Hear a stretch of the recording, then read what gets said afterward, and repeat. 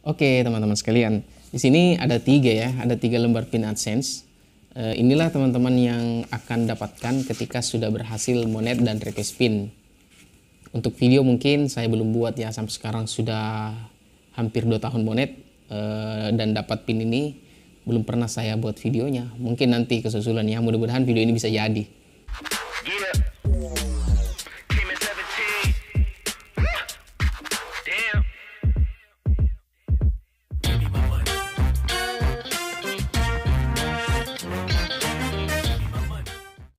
Setelah memenuhi syarat YPP 1000 subscriber dan 4000 jam tayang, telah mengaktifkan verifikasi langkah kedua dan tidak kena teguran sama sekali artinya nol teguran dan terakhir memenuhi pedoman komunitas kontennya ya.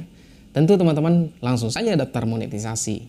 Setelah klik daftar monetisasi, ini akan langsung ditinjau dulu tidak seperti tahun 2021. 2021 itu langsung daftar, langsung masuk ke dalam proses langkah 1, langkah 2, langkah 3.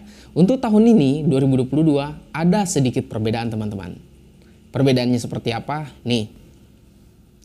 Nah, setelah teman-teman mengklik daftar, maka di tahun 2022 ini akan teman-teman diperlihatkan verifikasi satu kali.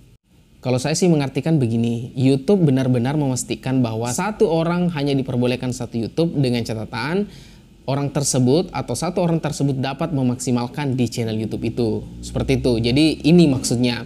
Nah, setelah teman-teman melihat pilihan ini, maka teman-teman akan melihat isiannya seperti ini. Nah, ada tiga pilihan di sini, teman-teman.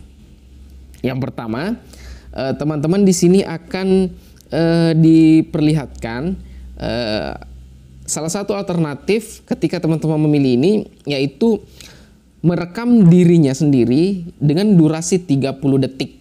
Ya dengan durasi 30 detik menyatakan bahwa teman-teman kepunyaan channel ini. Nah ini proses peninjauannya cuma sebentar cuma satu hari aja. Nah tentu teman-teman yang banyak memilih alternatif ini teman-teman. Terus yang kedua teman-teman akan diminta memasukkan identitas, verifikasi identitas. Kalau dulunya AdSense seperti itu, tapi ini sekarang YouTube ya. Jadi verifikasi identitas itu eh, teman-teman memasukkan KTP, SIM atau apalah tanda pengenal dari pemerintah. Nah, tentu tanda pengenal ini kan tidak ada duplikasinya. Tidak ada duplikasi sehingga sangat memungkinkan satu akun YouTube hanya satu orang. Dan proses peninjauan ini cuma satu hari juga Terus yang ketiga, teman-teman diminta untuk membuat history channel. Artinya teman-teman akan membangun history channelnya. Teman-teman harus membuat kesahihan bahwa betul channel Anda ini bukan robot. Artinya bukan semata-mata buat channel baru ditinggalkan begitu. Jadi harus diperlihatkan history channel selama pada saat itu. Nah, proses peninjauannya ini cukup lama, yaitu dua bulan.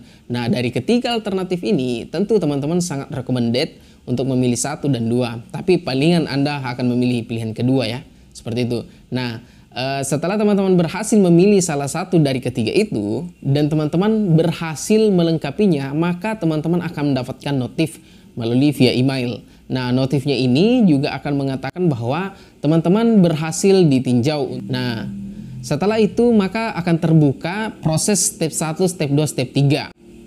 Nah, di sini lagi berlanjut untuk step 1 itu pemenuhan syarat 1000 subscribe dan 4000 jam tayang. Terus yang kedua, penautan dengan pihak AdSense. Terus yang ketiga, peninjauan terhadap konten kita apakah mematuhi pedoman komunitas.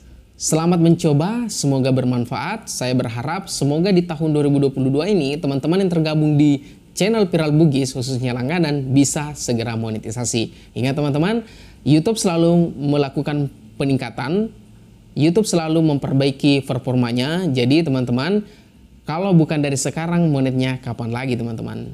Sekian.